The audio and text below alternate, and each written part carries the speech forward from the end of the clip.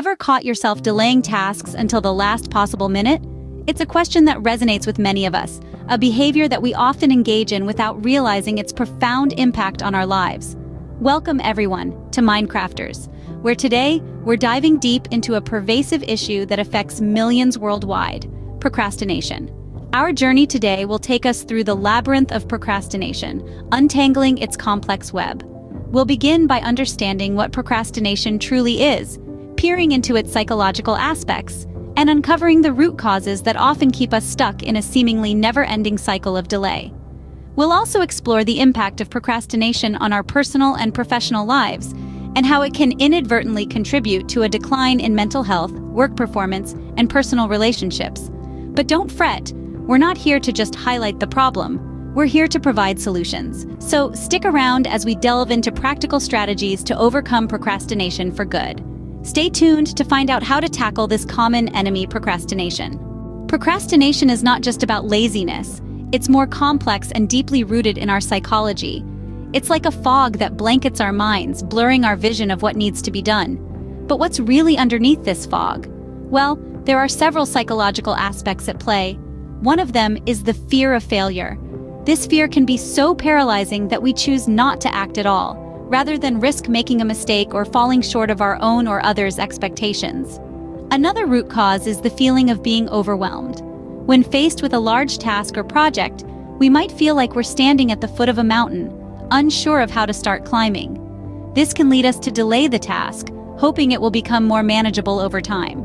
Then there's perfectionism, the relentless pursuit of flawlessness. Perfectionists often procrastinate because they fear they won't be able to achieve the high standards they set for themselves. These factors can create a self-feeding negative loop. The more we procrastinate, the more these feelings intensify, leading to even more procrastination. It's like being stuck in quicksand. The more you struggle, the deeper you sink. But there's good news.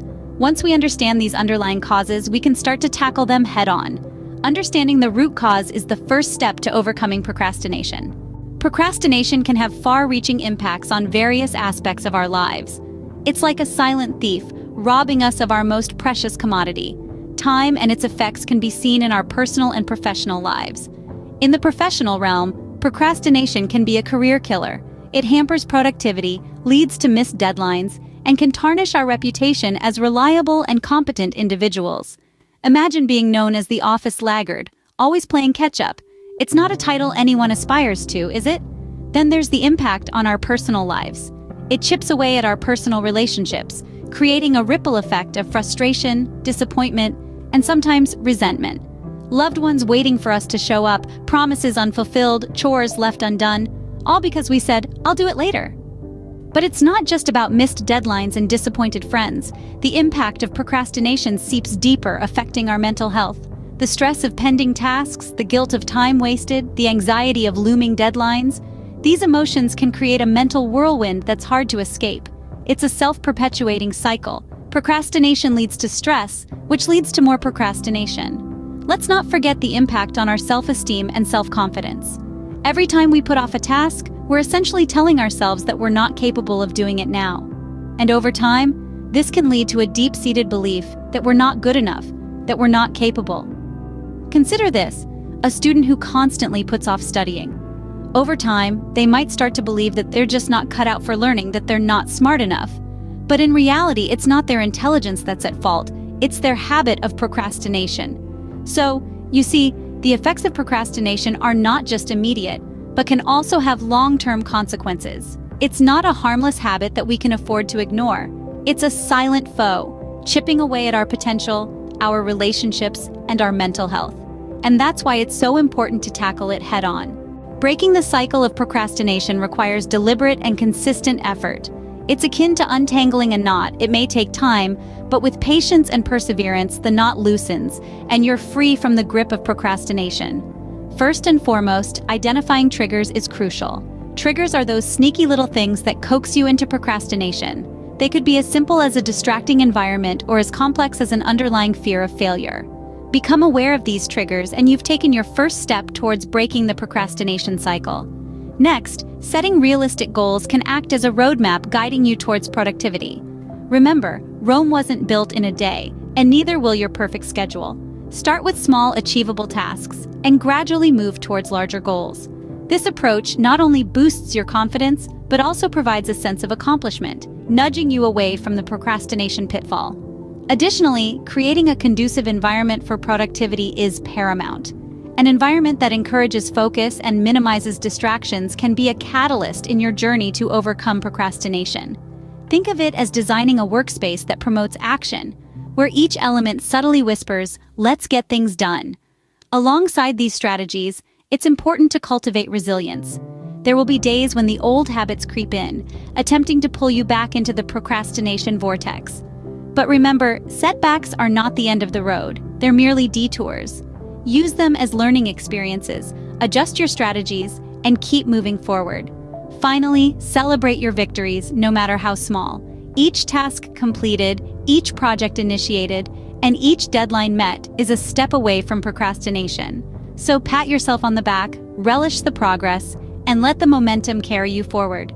With the right approach, breaking free from the grip of procrastination is absolutely possible. It's a journey of self-discovery, resilience, and determination. And remember, every journey begins with a single step. So take that step today and watch the chains of procrastination shatter. Let's delve into some practical, actionable tips to beat procrastination. One of the most effective ways to manage your time better is by employing a method called the Pomodoro Technique. This technique involves breaking down your work into intervals, traditionally 25 minutes, separated by 5-minute breaks. These intervals are known as pomodoros, the plural in English of the Italian word for tomatoes, a nod to the tomato-shaped kitchen timer that was originally used. The idea here is to focus on one task for the duration of one Pomodoro, then reward yourself with a short break. After completing four Pomodoros, take a longer break of about 15 to 20 minutes. This method can help increase your focus and productivity while also ensuring you get the necessary breaks to avoid burnout. Another important strategy is learning to prioritize tasks. Not all tasks are created equal, and it's essential to identify which ones are most important or urgent. A tool you can use for this is the Eisenhower box, a simple decision-making tool that helps you categorize tasks into four quadrants based on their urgency and importance. This can help you decide whether you need to do a task now, schedule it for later, delegate it, or discard it completely. Finally, never underestimate the importance of taking breaks. While it might seem counterintuitive, taking regular breaks can actually improve your productivity. These breaks give your brain a chance to rest and recharge, which can help maintain your focus and energy levels when you return to your task. Try incorporating these strategies into your daily routine, and you might be surprised at how much more you can accomplish. It's not about working harder, but about working smarter. And remember, the key is consistency. These techniques won't magically eliminate procrastination overnight, but with regular practice, they can help you form healthier work habits and improve your productivity over time. Remember, these are tools that you can start using right now to combat procrastination. Overcoming procrastination also requires a shift in mindset. It's not just about tactics and techniques, it's about how you perceive yourself and your tasks. One powerful tool in this regard is positive thinking. Rather than focusing on the enormity of the task or the fear of failure, positive thinking encourages us to focus on our abilities and the benefits of completing the task. It's about saying, I can do this, instead of, this is too hard. Another crucial mindset shift is self-compassion. It's easy to beat ourselves up when we procrastinate, but this negative self-talk only feeds into the cycle of delay. Instead, try treating yourself with kindness and understanding. Acknowledge that everyone struggles with procrastination at times, and it's okay to have off days. Lastly, adopting a growth mindset can be a game changer. This means viewing challenges as opportunities for growth rather than obstacles. With a growth mindset, we realize that our abilities are not fixed and can be developed with effort and persistence. So even if we struggle with procrastination now, we can improve over time. These mindset shifts are not just theoretical concepts. Numerous scientific studies support their effectiveness. For example, research in positive psychology has shown that positive thinking and self-compassion can significantly reduce procrastination. Similarly, studies in educational psychology have demonstrated that students with a growth mindset are less likely to procrastinate. In conclusion, a change in mindset can make a world of difference in overcoming procrastination. Scene script. Once you start making progress, it's important to maintain momentum. It's like riding a bicycle. Once you're moving, it's easier to keep going. That's the power of momentum. Establishing a routine is paramount. A well-structured routine serves as a roadmap for your day, helping you to distribute your energy wisely and prioritize tasks effectively. Next, practice continuous self-reflection. This isn't about being overly critical or harsh with yourself. Rather, it's about understanding your patterns, identifying your triggers, and celebrating your victories, no matter how small. Lastly, don't hesitate to seek support when you need it. We all have moments of weakness and times when we need a little help from our friends. Surround yourself with people who inspire and motivate you. Remember, consistency is key when it comes to beating procrastination. It's not about being perfect, it's about making progress, one step at a time. Procrastination is a common struggle, but it's not insurmountable. We've explored the depths of this habit, understanding its roots and the impact it has on our lives. We've also discovered practical tips and mental shifts that can help us break free from this cycle. Remember, the key to overcoming procrastination lies in identifying your triggers, setting realistic goals, and creating an environment that fosters productivity.